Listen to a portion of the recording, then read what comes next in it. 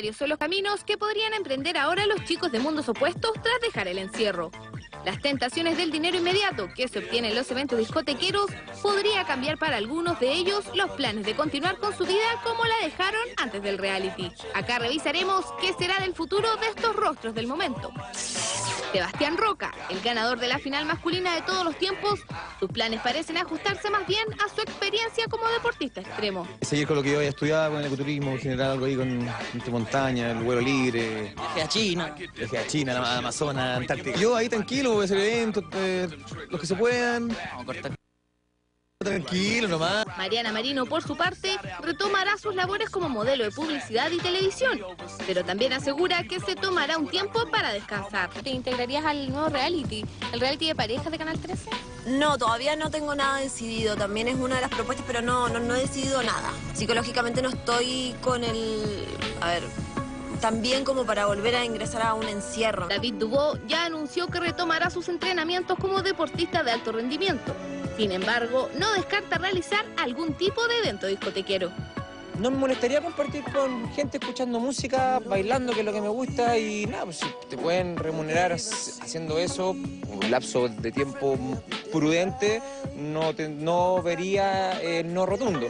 Pero claramente no pienso vivir de la farándula ni de eso.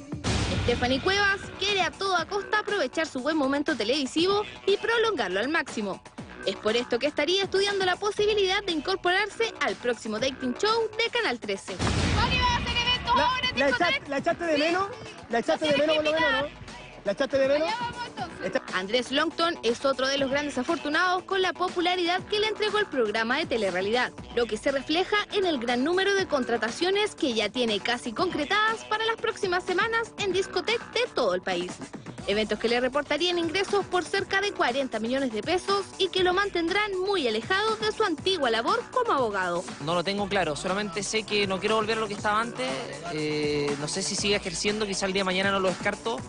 Quiero en este momento aprovechar esto, sacarle el máximo de provecho. José Luis Vivó y Dominique Gallego, como miembros de la Escuela de Talentos de Canal 13, estarían evaluando incorporarse a nuevos proyectos del canal, quizás en un programa de entretención. El objetivo mío, obviamente, de enfocarme en algo. Eh, tengo otros proyectos aparte de lo que es de- estar acá en los medios, ¿no? Eventos y esas cosas. Es organizar mi vida. Igual me voy a preocupar, N, porque a mí me vaya bien, pues, obvio. y me voy a quedar acá.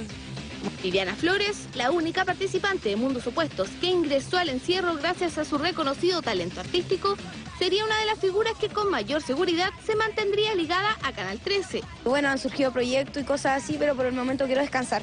Quiero estar tranquila un rato, sé que nadie me apura, ¿cachai? Tampoco quiero ponerme nerviosa ni apresurarme, ni yo misma frustrarme de nuevo.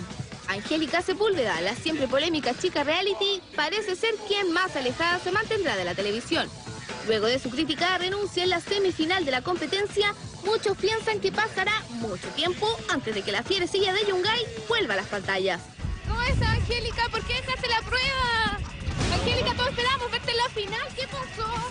De los otros 20 participantes, es probable que muchos de ellos continúen con sus vidas como las dejaron antes del encierro, o aprovechen los 15 minutos de fama que les otorgó el éxito del programa. Pero también es cierto que muchos de ellos corren el riesgo de pasar al olvido. Solo es asunto de cada uno, cómo construir su futuro luego de la popularidad de mundos opuestos. Intruso.